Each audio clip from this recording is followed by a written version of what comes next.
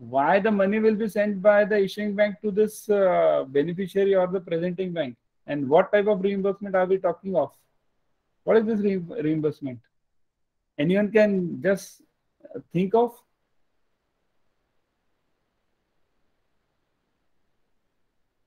Okay i'll clarify this point. Uh, you have heard of that red clause lc red clause right? Yes,